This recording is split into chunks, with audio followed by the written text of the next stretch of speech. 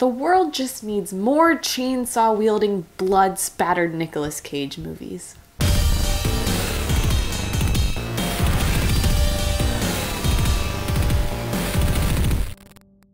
Hey everybody, welcome back to my channel. My name is Steph Cozza and today I am reviewing Mandy. Ooh, also wanted to let you guys know that from now on I will be posting a video every single Friday. I've already been doing it for the past two or three weeks, but I just wanted to like officially announce that that will be happening and will be continuing because I want to give you guys consistent content every single week. Occasionally there will be more than one a week, but there will definitely at least be one on a Friday, no matter what. Anyways, this movie Oh my god. This was probably the most exciting, invigorating, interesting, entertaining movie-going experiences I have had all year. Mandy is directed by Panos Cosmatos, Cosmatos, Panos, Panos. Not really sure how to pronounce his name, but he is great at filmmaking, as we have learned. This is only the second movie he has ever made, which is incredible to me because he's just accomplished what every filmmaker strives to accomplish, which is just like instantly knowing what to do. So early in his film career, and he's already made a masterpiece. His other movie was Beyond the Black Rainbow from 2010. I have not seen that one, but I definitely want to after seeing Mandy. Definitely gonna check that out. But Mandy is set in 1983. It stars Nicolas Cage, who plays a character named Red Miller, and he lives in this kind of primal wilderness with the love of his life, Mandy. And they both just kind of seem like broken, haunted people who have had kind of a dark past and now they're just living this life of like silence and serenity in this sort of abandoned forest kind of setting. It's a little bit creepy. They also live right next to Crystal Lake, which I think might be a little bit of a homage to the Jason Voorhees movies. There's a lot of little things in this movie that are definitely like sort of a love letter to the 80s. Like there's a lot of subtle references, nothing like super in your face, but it's all there and you can kind of feel it and sense it. And I think if I were to watch this movie, just coming across it on TV, I would for sure think that it's an 80s movie. It looks like an 80s movie, it feels like an 80s movie. Nicolas Cage hasn't really aged since the 80s, so like it's fine. It totally works. So basically, without giving too much away, there's this group of weird, hippie, super religious, kind of crazy tripped out on LSD people, and their leader decides that he wants Mandy. He just has to have her. He sees her on the street and he's like, I need this woman in my life. And so he and these like creepy Mad Max looking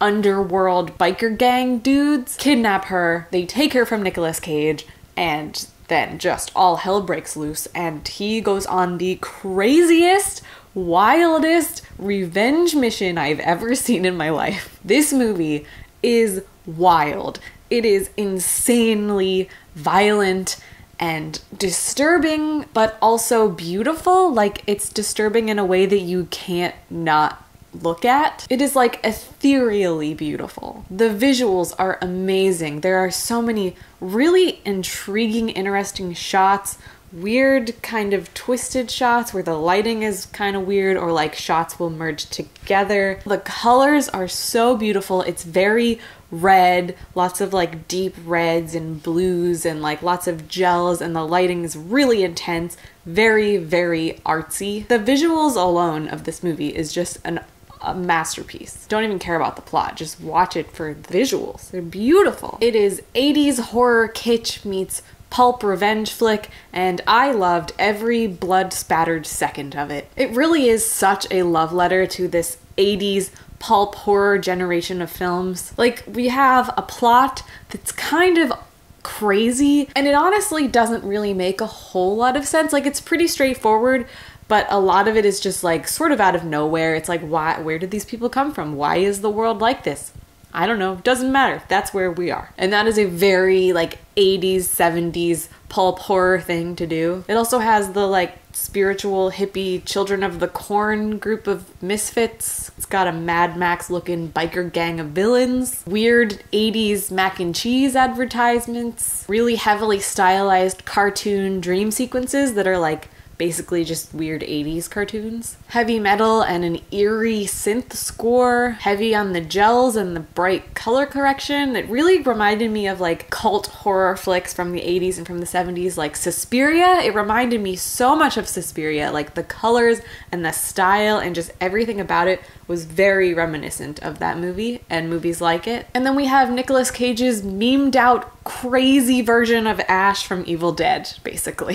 He's got a chainsaw, he's covered in blood, he's just destroying crazy evil. And honestly, I think this movie was made for Nicolas Cage.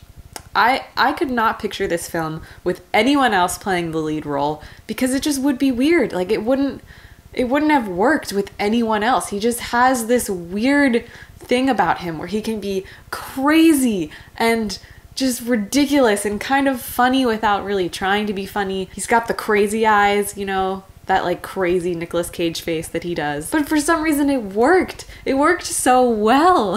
I feel like it's been so long since I saw a movie with Nicolas Cage and I was like, wow, that was great. But he really is good. Like he gives the performance of a lifetime. Like, I don't think I have ever seen him as unhinged as he is in this film. And it's kind of a slow burn. Like, first we see him and he's just this, like, haunted, brooding man, doesn't really say that much. And then Mandy gets taken and he sort of awakens and he's really broken and trying to recover and trying to figure it out and he's really vulnerable and there's some weird scenes in the middle there where he's just broken and very vulnerable and it kind of makes you love him even more even though it's a little bit weird and kind of funny to watch. But then it makes his whole revenge mission and when he just snaps and goes crazy it makes it so much more gratifying because the whole beginning of the movie you're like ah I just feel so bad for this guy and I love this guy. He's just there's something about him that I just love. And then he just goes off the rails and it's fucking awesome. Oh my god. This movie was so much fun. Honestly the most fun I've had at the movies in a very long time. It is a very slow build and you have to kind of just go with it because the first, I'd say the first two acts are very slow. It's a lot of like introducing you to these characters, familiarizing yourself with this weird world and this weird group of villains, and introducing you to Mandy so that when she gets taken, you really feel that loss. And it's kind of just like you're riding this wave of anticipation until Nicolas Cage just goes crazy and starts murdering everyone with a chainsaw and a scythe that he makes himself. It's so amazing. I kind of felt like this movie was gonna be like, you know, those like D list horror movies that are just so bad that they're entertaining? Like, you just. You want to watch them because they're bad. That's kind of what I thought this movie was going to be. And there are definitely scenes where it sort of felt like it was almost ironically trying to be that, but it was really good. like this movie is beautifully designed. It's so beautiful. It's so genius. It's very, very self aware, and I just loved every second of it. I loved it so much. This might be my favorite movie of 2018.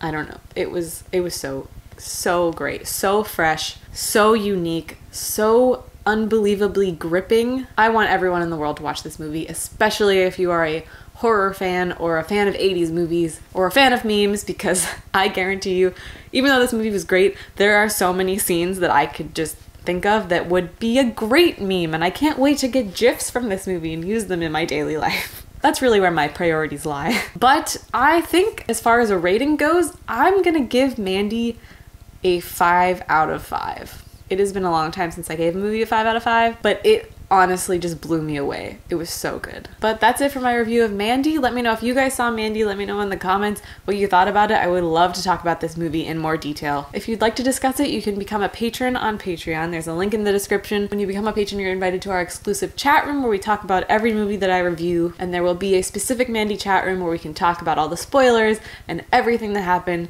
discuss the shit out of it. I'm very excited about it. Also, I know this movie isn't playing everywhere. It's not all over the world. So if you do really want to see it. I'm pretty sure it's already available on iTunes or it will be within the next few days. Not really sure why. They just went straight from theater to internet, but it will be out there if you want to watch it. So I definitely recommend it. It is very worth it.